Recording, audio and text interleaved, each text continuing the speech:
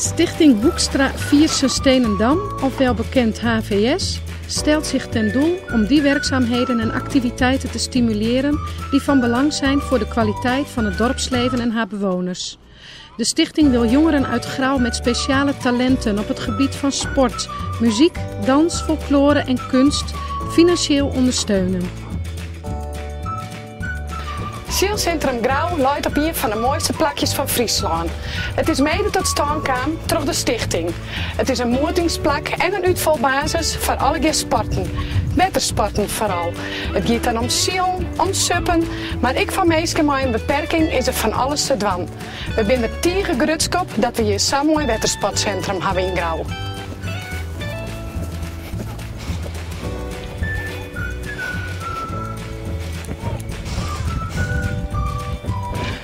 Mijn naam is Meijere Hondema en ik ben 19 jaar. Ik woon in Grauw.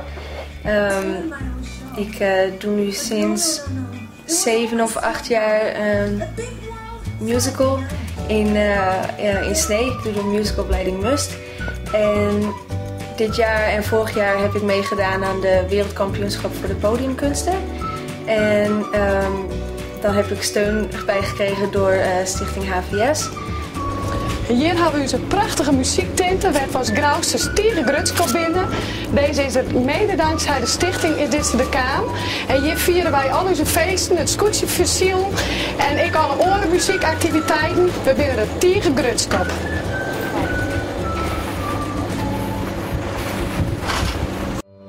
Would I do without your smiling mouth?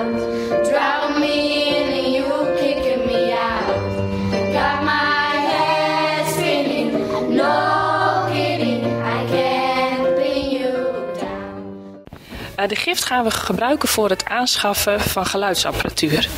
Ehm, dat is belangrijk omdat we daarmee de kinderen ook eh, met geluid kunnen laten oefenen en beter kunnen voorbereiden op de optredens.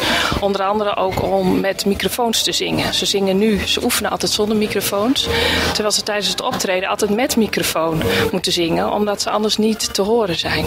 Nou, en dat moeten we tijdens de lessen beter oefenen om beter te kunnen optreden.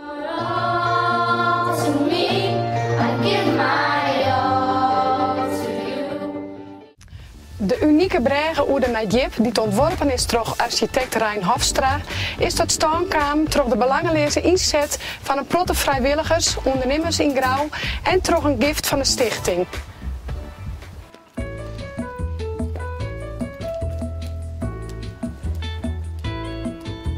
ja, ze stiep je mij al voor het treden hier. Dus ik ben er echt eh, heel erg blij mee, want eh, hier terug ken ik eh, volle meer dan. En eh, extra trainingen en eh, vervoerskosten, want alle wedstrijden zijn in, het zuiden van het land. Dus eh, ja, dat is best wel een dure hobby.